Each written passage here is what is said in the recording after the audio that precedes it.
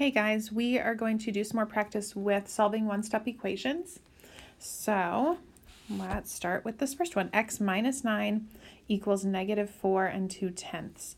So I am going to keep myself organized by drawing my line down the middle here so I can keep my two sides balanced. And my job here is to isolate my variable so that I can end up with x equals something. So to do that, I'm going to have to get rid of this negative 9 or this minus 9, and we're going to use the inverse operation to do that. So since right now it's subtracting 9, the opposite of that is adding 9. So I'm going to add 9 to both sides. Remember, you want to keep it balanced. Over here, minus 9 plus 9, that basically cancels out to a 0. So I get x on that side. And on the other side, I have to think about my integer rules. So I have a negative 4.2 plus a positive 9. So different signs subtract. I'm going to do 9 minus 4.2. Don't forget to line up your decimals. And we're going to need to do some borrowing. I can't do 0 minus 2, so borrow here. 10 minus 2 gives me 8. Bring my decimal down. 8 minus 4 gives me 4. Keep the sign of the larger number, so the larger one was my positive 9. So my answer is x equals positive 4 and 8 tenths. Okay, then we go to the next one. m plus 2 and 3 fourths equals negative 1 half. So again, keep yourself organized, break it apart so that you can see your two sides and keep them balanced. And again, I want to isolate my m, so I need to get rid of that plus 2 and 3 fourths. The opposite of adding 2 and 3 fourths is subtracting it, so I'm going to subtract 2 and 3 fourths from this side, subtract 2 and 3 fourths from this side. Remember, keep it balanced. Over here, adding 2 and 3 fourths and then subtracting 2 and 3 fourths. Remember, that basically cancels out and gives you a 0, so I get m on that side. And I need to uh, solve the other side. So it's a negative 1 half minus 2 and 3 fourths. Um, this is a keep, change, change situation. So really I have a negative plus a negative. So I'm going to same signs, add and keep.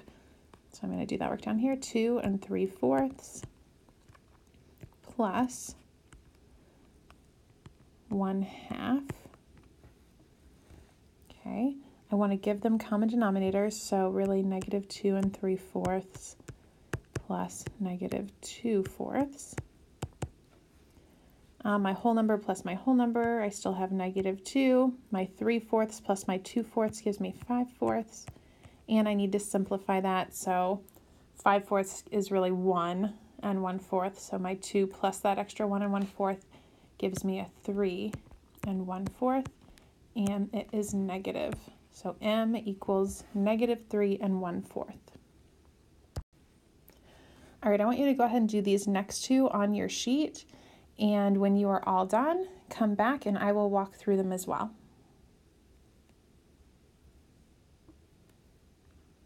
Okay, let's go ahead and go through these problems. So I'm going to keep this first one um, organized. So put my line down and I can see that it's really a minus a negative. So since it's subtracting a negative, I'm going to keep change change.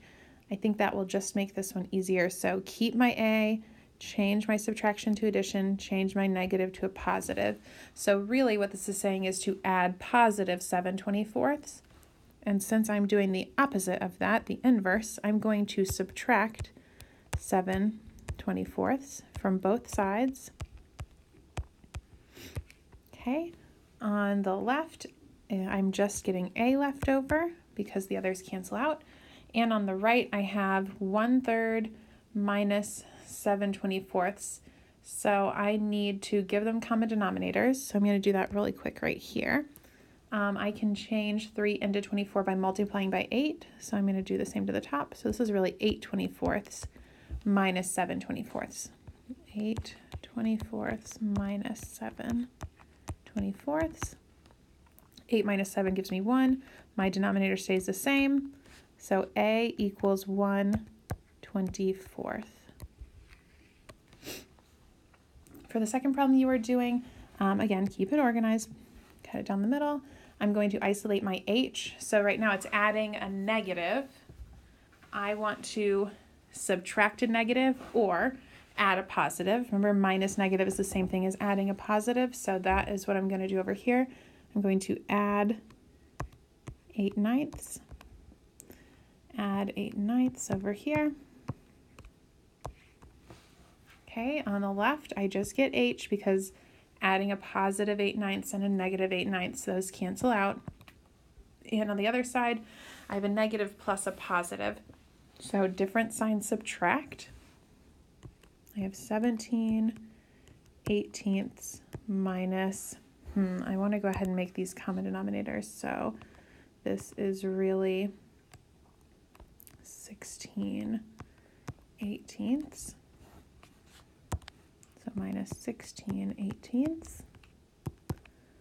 17 minus 16 is 1. My denominator stays the same. So I get 1 18th, um, but it was different sign subtract. Keep the sign of the larger number. Our larger number was this negative 17 18ths, so I really have negative 1 18th as my answer. Okay, I want you to go ahead and pause the video here. Do the next four on your paper, and then I actually am going to have you check the answer key. I'm not going to walk through those for you. And when I go to the next one, I'm actually going to start on the top of the back of your paper and do the next couple with you as well. Okay, so we are now starting on the top of the back of your paper with these multiplication and division problems. So I have x over 3 equals negative 7 ninths. So keep yourself organized, just be like before. Let's split it in half. My goal is to isolate that x. So right now it's dividing it by a 3. So I'm going to do the opposite and multiply by 3. Since it's set up like a fraction, sometimes it's helpful to multiply it here like a fraction, like 3 over 1. And you can kind of cancel those out, especially since this side is also set up like a fraction. So I find that to be a little bit easier. Then right here, you can kind of see how it cross simplifies. The 3 and the 3 simplify down to a 1. So really this is just 1x, which is x. On the other side though, we can see 3 and 9 have something in common, so I'm going to simplify that down. That just makes my multiplication a little bit easier. So 7 times 1 is 7. 3 times 1 is 3. It was a negative times a positive, so a negative. And then we want to simplify that 7 thirds. So 3 comes out of 7 two times with 1 left over.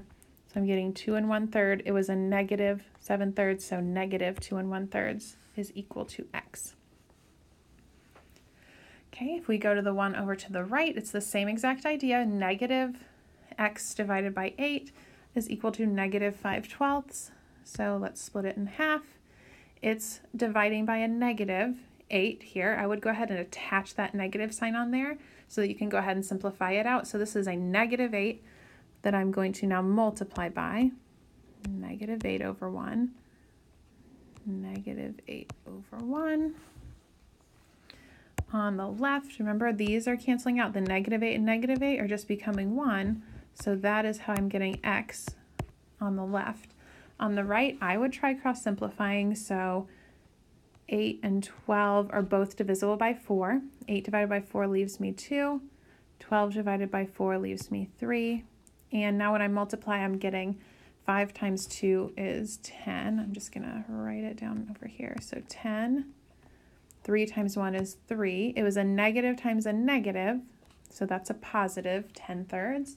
And then I would go ahead and simplify that. So 3 comes out of 10 three times with 1 left over.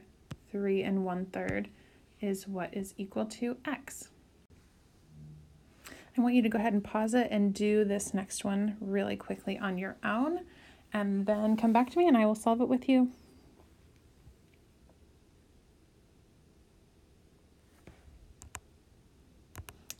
Okay, so hopefully you went ahead and solved this last one. Um, x over 5 equals negative 4 eighths. So let's start by keeping ourselves organized here. I can see it's dividing by a positive 5, so I'm going to multiply by positive 5 over 1 multiply by 5 over 1. I can cross simplify right here. My 5 and my 5 can both turn into 1s. On the other side, 5 and 8 I can't simplify, 4 and 1 I can't simplify, so I'm just going to have to multiply those. So 4 times 5 is 20, 8 times 1 is 8. It was a negative times a positive, so it should be negative 28ths. On the left, I get x left over.